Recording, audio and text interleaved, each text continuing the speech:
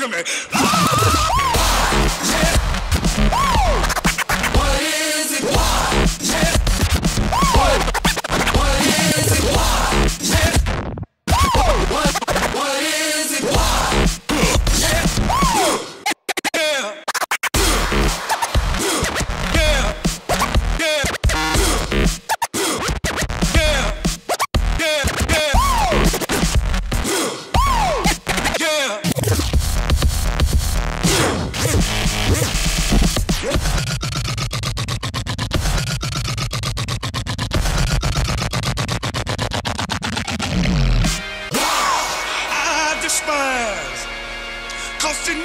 destruction of innocent life.